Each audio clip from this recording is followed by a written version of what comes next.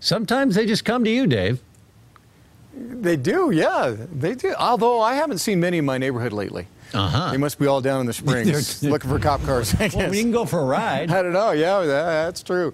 Hey, uh, take a look this morning. Uh, great morning for a ride. Look at Colorado Springs. They're already at 70 degrees, as is La Junta. It's windy, though, so a warm and windy start. Up in Boulder, it's 50 and it's 48 in Greeley now.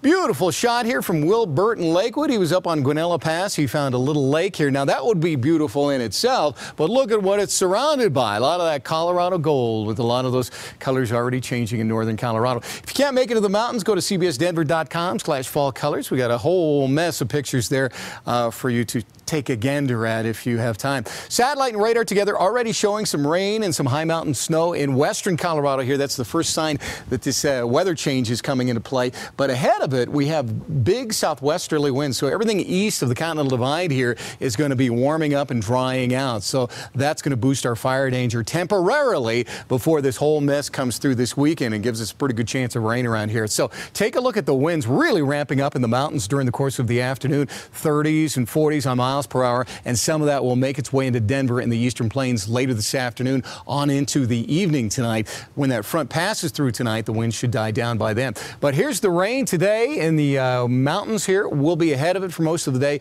just clouding up a little bit during the course of the afternoon. The wind will boost the fire danger, though, just east and south of Denver along the Palmer Divide and then pushing down into southern Colorado.